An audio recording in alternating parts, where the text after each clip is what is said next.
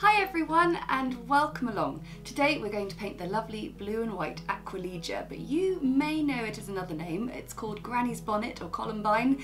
Um, it's absolutely gorgeous and so let's grab our paints and get started. So we're going to begin with a pencil stem, sort of forking off in the middle there and we're going to have uh, an open faced flower here, a bit of a circle, and then we're going to have a curling away one, and because we, it'd be really cool to show this flower just slightly from an angle because it's got a bit of an amazing sort of back backside that you don't tend to see very much, um, and then we'll get some little sort of budding stems in there and a, a leaf or two. Lovely. So there's our pencil drawing and we can pop that to one side again and we can mix up some of our colours. So the flower colour I'm going to do today, I want to create a, a slightly purpley blue, a sort of indigo colour. So I always like to have a few different tones at my fingertips. Um, so I've got Cobalt Blue Deep, this one here, and then this is French Ultramarine Blue. And then I'm going to pick up a bit of Permanent Rose and mix that in there. And then I'll be able to just sort of dab in extra bits of blue should I need them. And then for the stems, it's a slightly yellowy green colour. So we'll get sap green and a bit of green gold mixed together, but of course you can use your yellow tones if need be if you don't have green gold. So it's very important to get your colours sort of ready, ready prepared.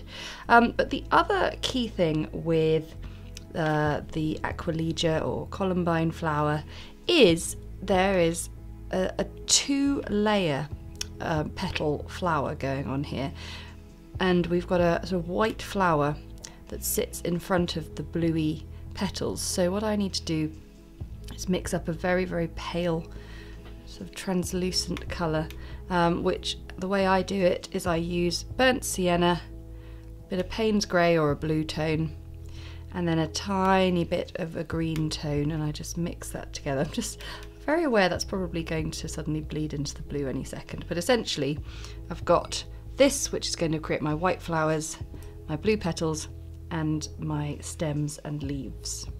Now I'm all ready to go.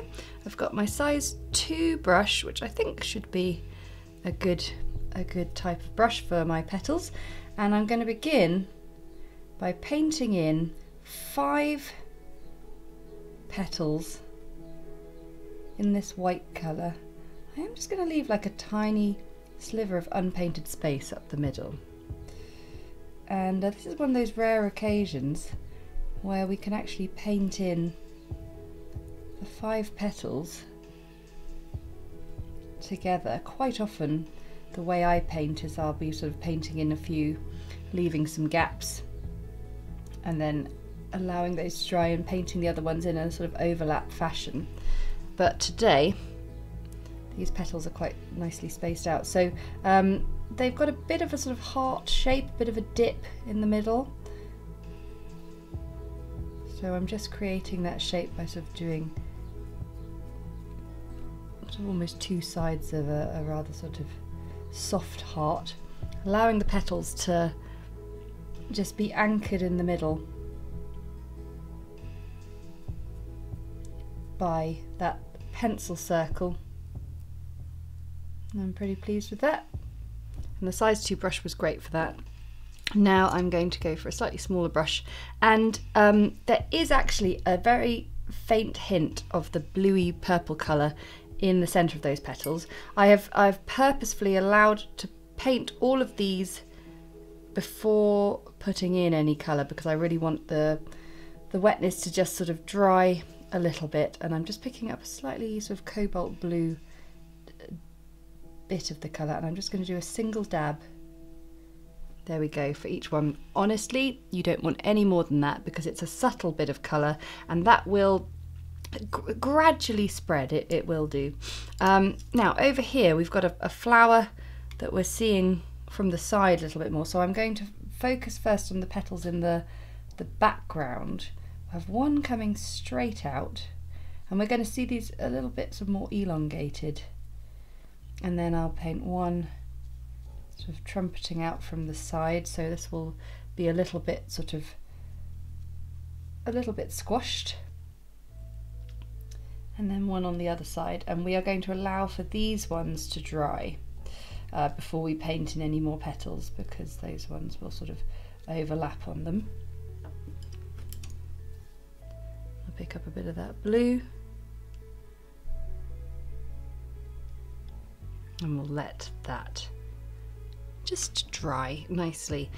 So whilst that's drying we can focus on our stems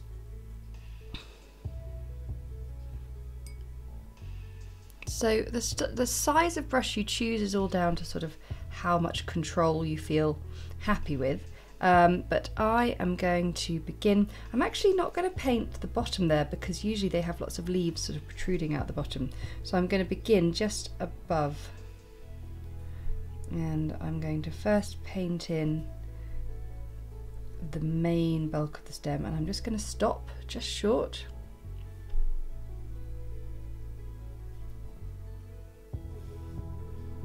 and here I'm going to stop just short as well because there's quite a lot that goes on as I said on the back side of a Aquilegia flower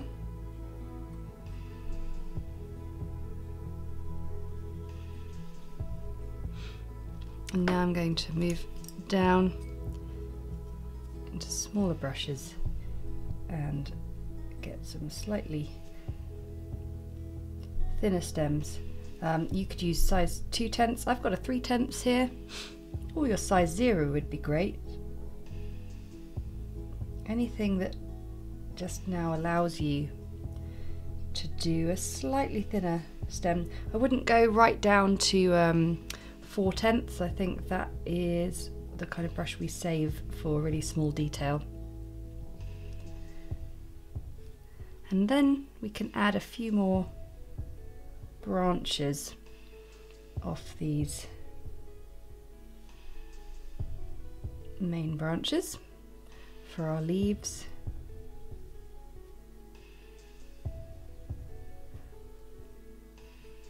There we go. So we're just going to sort of allow that to dry. And you can see there's little places where maybe the blend didn't quite sort of smooth out so we can just add a little bit of colour there. But on the whole, we've got a really nice base for our stems and leaves. So we're just going to let that all dry. This is all lovely and dry now. It's quite a warm day actually, which helps. Um, and now I've got a size zero brush just for a bit more control. And I'm going to now paint in two more petals. It doesn't matter if the blue sort of shows up underneath them. Um, and you can see they're sort of little trumpety shapes. And then what I'm going to do is I'm actually going to extend the petal with this long curly tail. I mean the white paint's probably a bit hard to see. If I add a little bit more there. Because these um, columbine flowers have these amazing tails um, that you don't tend to see when the flower is facing you straight on. But yeah, it's kind of cool. Anyway, we'll let those dry and we'll move on to our leaves and then we can get back to those shortly. So a leaf for this flower. Um, I'm going to use my stem mix size 2 brush and I'm going to create these sort of softly serrated leaves.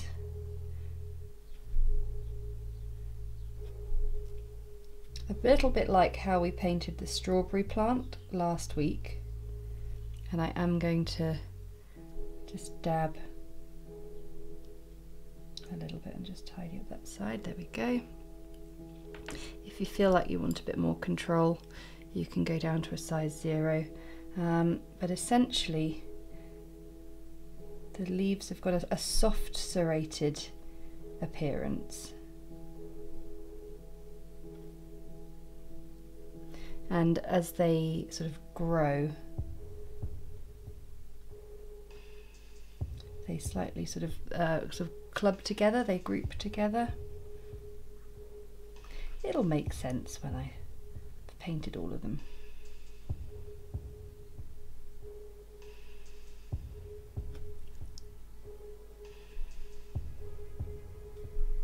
And just a dab again. It's just like that technique there. Just if as long as you've got a, a leaf that is fairly wet and you're working with a, an element of speed, if you sort of see, I'm allowing my my leaves to sort of slightly slightly sort of seep into the page and dry a little bit, but it is important that I dab in that colour fairly fast. And it's also important to say that when we paint our leaf branches, these initial stems here, we're just painting in the basic sort of number. However, you can then feel free with this flower to add in a few little extra ones.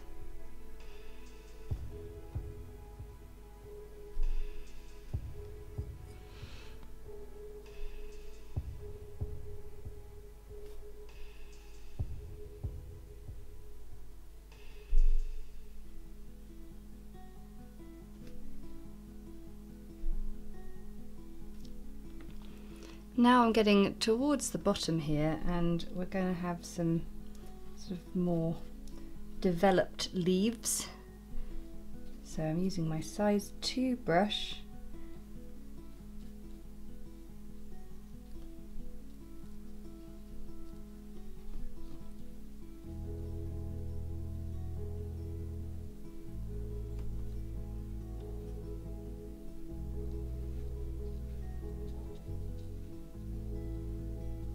And the leaves have gone from these three sort of separate things to three slightly more sort of bulky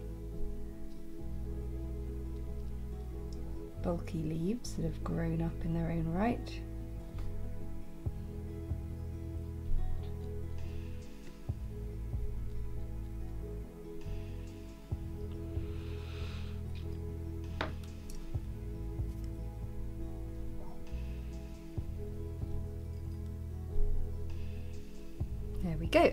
So that's looking really nice. Let those dry before we do any detail on those. And now we can return to these. Now I am going to change my water over because it's a little bit green now.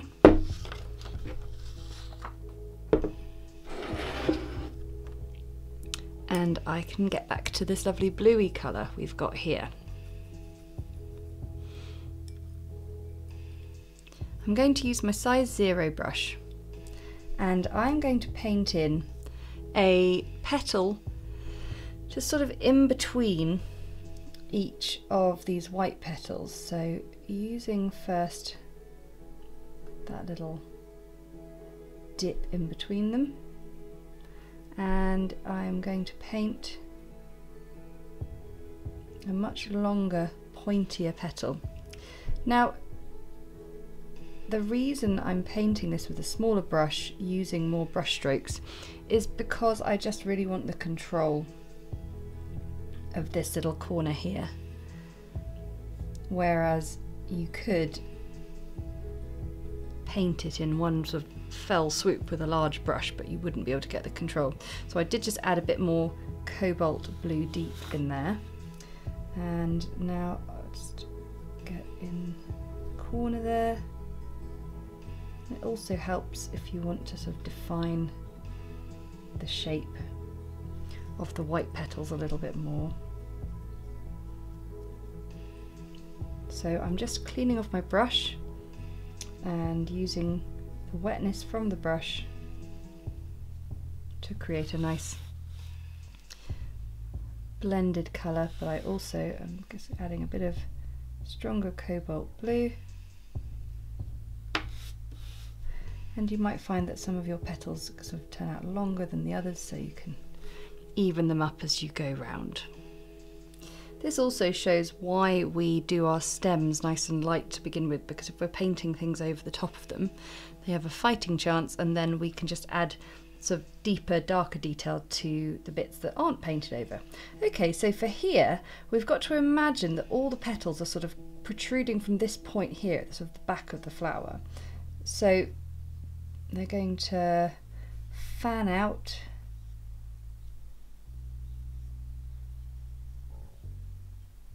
from there.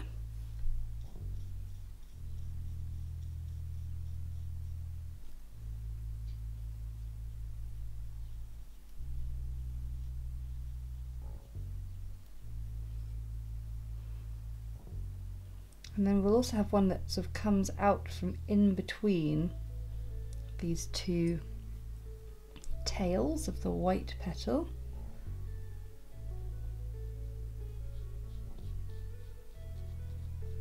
And at the end I thought I would I would see if we could add in maybe a few more white petal tails if we feel we can see them.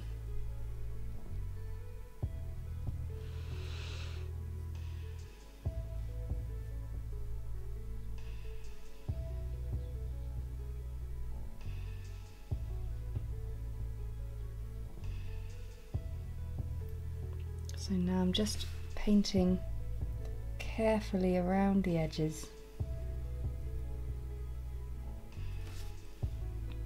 I can add a drop of deeper blue if I want. And then up around the back, probably seeing one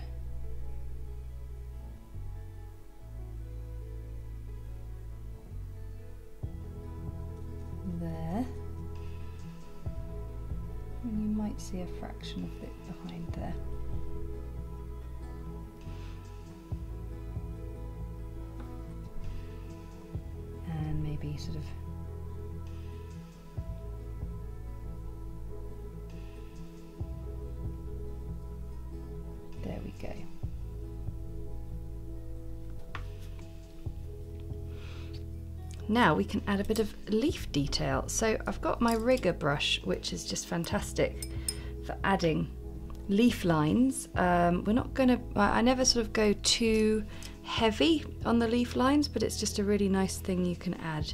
Um, so I've just got some sap green, and I'm going to mix in a little bit of French ultramarine blue, which gives us a, a nice piney forest green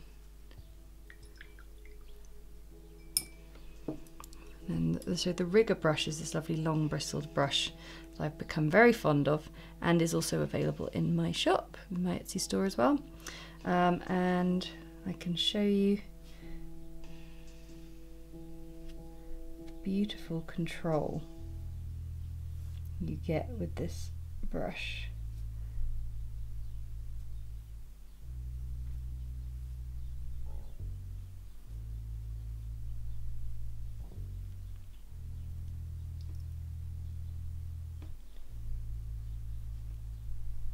Holds so much paint as well which is the really cool thing. So doing a central line is cool but then we can also add a few little protruding veins from that central leaf. Just make sure they're nicely sort of steeply angled and the more the paint sort of runs out and dries up on the brush kind of the better. Because it just means that your lines are going to be really delicate and faint.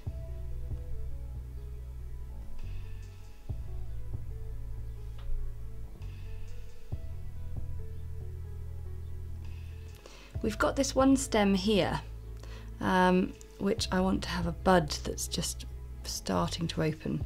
So I'm going to use my size uh, 3 tenths and just do a few little tapered lines, a little C curve, S curves. And then get a bit of this nice green. And this is probably the one bit where we'll sort of have a little bit of a, a bleed and a blend. Just completing the bud with some green sepals there.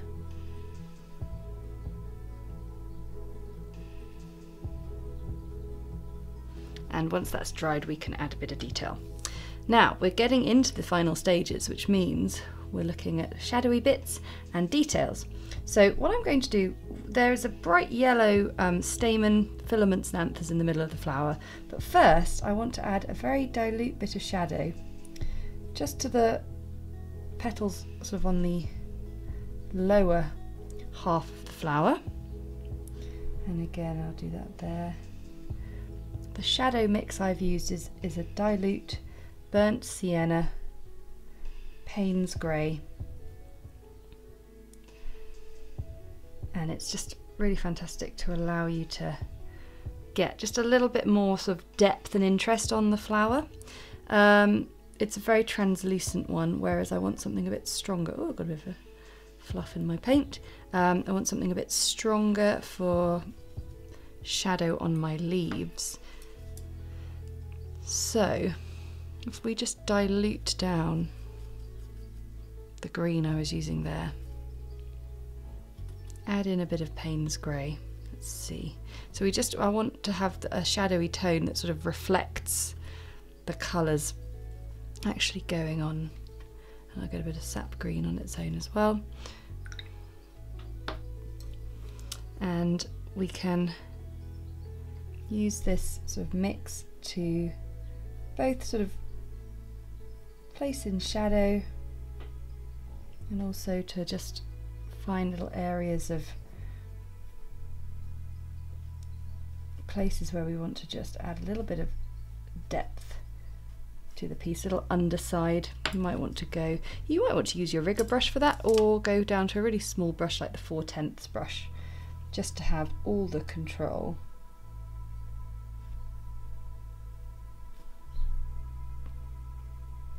So it can help blend the leaves just a little bit more.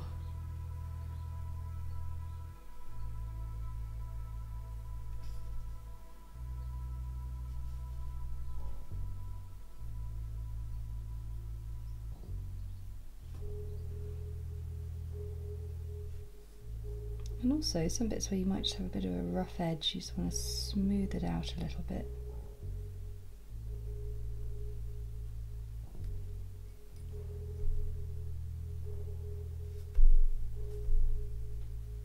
With a little bit of water.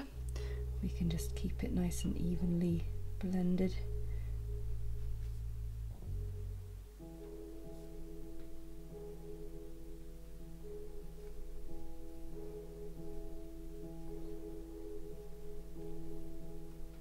Use it to pick out a bit more definition there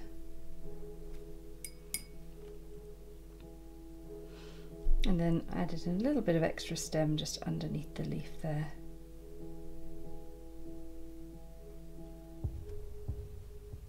What you're doing is just connecting everything, making it all feel part of one plant.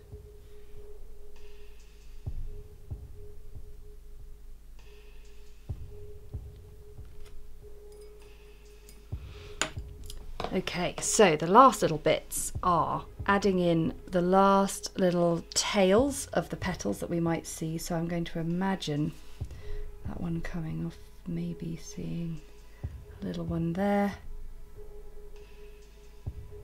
and one there. That's kind of cool. And then we've got the yellow centres of the flowers. Once I, I just keep finding places to add shadow, that's my problem. right. I mixed up cadmium yellow and cadmium orange as well, just to give us some extra options. And I am going to use this in as opaque a way as I possibly can. Cadmium yellow is an, a, a more opaque watercolour. And I'm going to use the circle as my rough guide to sort of dot. Yellow. Sort of cluster. A haloed cluster or a clustered halo.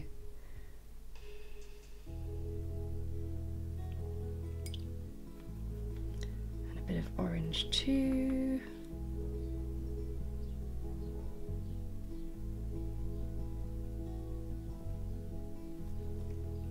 when it's facing straight out at you it can just be just dots like that. When it is on an angle like this one we can actually look at having the filaments the actual lengths.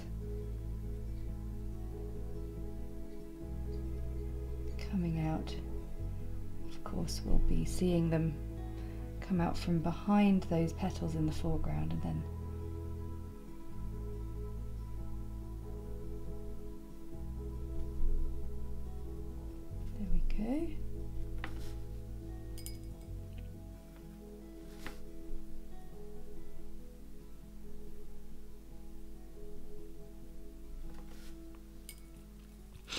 Okay, gonna let that all dry and then we'll rub out the pencil and have a look. Okay, that's looking really nice, but I always like to have one last look at it and um, I'm just gonna add a little bit of sap green to the sepals there.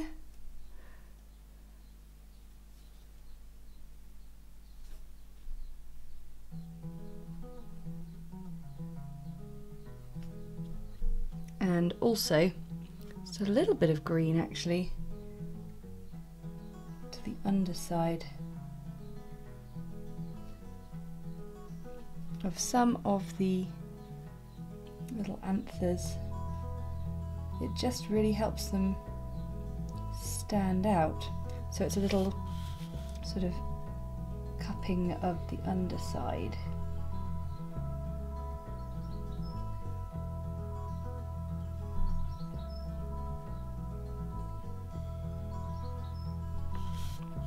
And there we have a beautiful Aquilegia or columbine flower. Thanks so much for watching. I really hope you enjoyed that one. I want to say a big thank you to my patrons for their support because that support enables us to keep creating videos like these that everyone can enjoy. And if you enjoyed it, then hit the like button and comment below to let me know how you're getting on with this. And if you share your work on social media, then tag us at De Winton Paper Co on Instagram.